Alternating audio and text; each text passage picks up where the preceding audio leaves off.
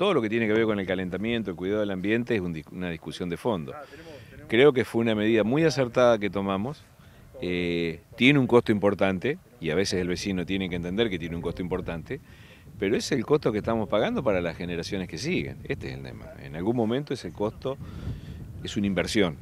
¿eh? Lo que estamos invirtiendo para que haya un cuidado, fundamentalmente en el tema de los residuos. Tenemos que avanzar más, tal vez, en lo que es eh, separación de residuos a nivel local, eh, y eso tiene que ir de la mano también con alguna política de Estado a nivel escuela, fundamentalmente. ¿no? Aunque ya, los jóvenes tienen en sus propias casas la separación, inclusive algunos hacen el tratamiento de residuos este, para, tener tierra este, fertilizante, hacen sus compost.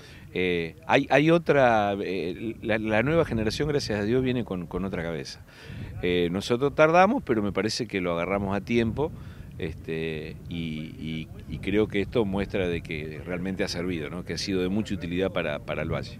Más allá de las distancias que tenemos quizás entre localidad y localidad, eh, qué importante el trabajo en conjunto, eh, porque me imagino, si no, cada basura quedaría en cada localidad como venía siendo antes, y eso generaría contaminación, y el hecho también de que no se separara, ¿no? que, todo vaya al mismo lugar. Eh, hubo un cambio ahí de paradigma, justamente. Un cambio de paradigma donde me parece que la política a veces entiende que hay que trabajar en conjunto y no importa los partidos políticos, tienen que ver los objetivos, y este es un objetivo de la gente, del pueblo, de la comunidad. Eh, esto, estos son las famosas comunidades organizadas. Eh, eh, así se puede trabajar con tranquilidad. Nos sentamos, nos ponemos de acuerdo, peso más, peso menos, kilómetro más, kilómetro menos, un camión, un camión más.